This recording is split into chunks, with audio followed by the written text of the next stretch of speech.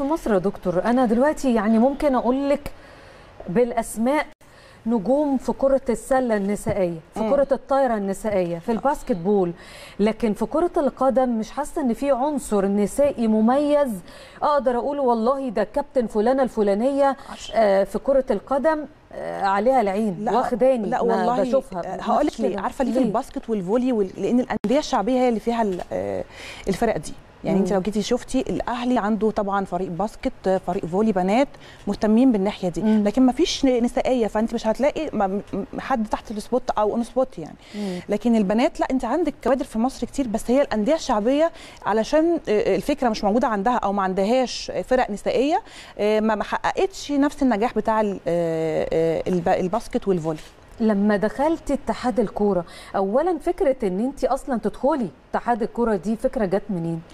والله آه، كان بعد الدكتورة صح الهواري كان في مقعدين فاضيين في اتحاد الكوره وأنا كنت عضو جمعيه عموميه وكنت بروح اتحاد الكوره وبحضر اجتماعاتهم وبنتناقش. آه.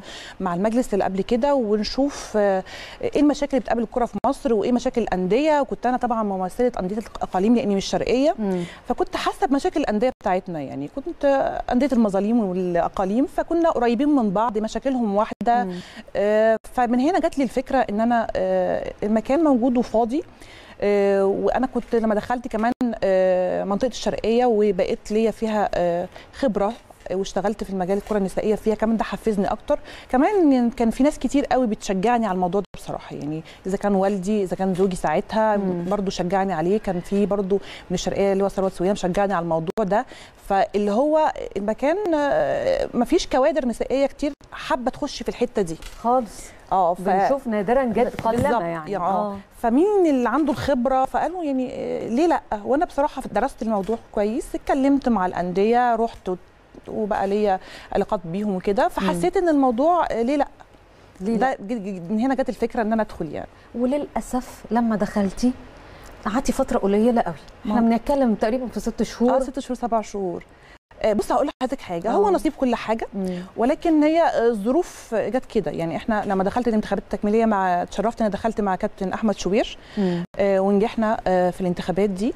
ودخلنا كان من أول ما دخلنا تقريبا إحنا قعدنا سبع شهور لا آه، مش أكتر من كده شهور، آه آه. بالظبط كده.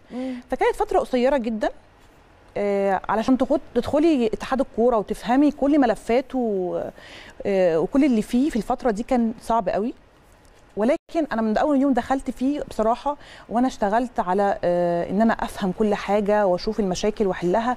وكمان من أول جلسة كمان كان المهندس هنا بريدة ومجلس الاداره هم آه، وكلوا الي ملف الكرة النسائية إن أنا أديره اللي هو. نشاط أصلا كان مجمد بقاله سنين.